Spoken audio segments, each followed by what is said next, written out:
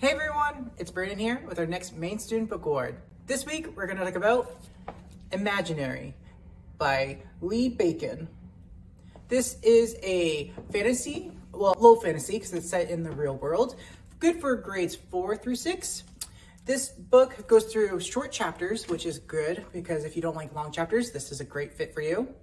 It goes through our main character, Shovel. He is a big, fur, uh, furry purple creature who is an imaginary creature.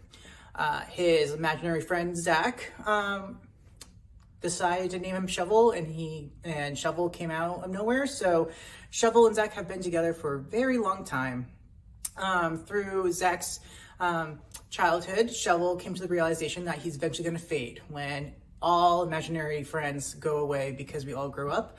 Well, shockingly, Shovel doesn't go away. And during middle school, Shovel is with Zach. And Zach has to balance his life with finding friends and growing up and going, getting over stuff that has happened in his past. And Shovel is like, do I stay or am I going to fade? So come read the book and see if Shovel does fade.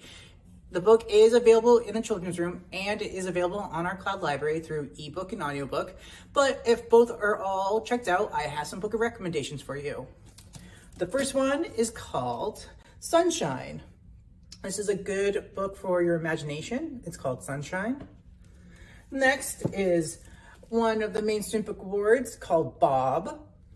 And another Newbery Award, one of my favorites, is Bridge to Terabithia. Again, come check out Imaginary by Lee Bacon, and I'll see you next week. Have a great one. Bye.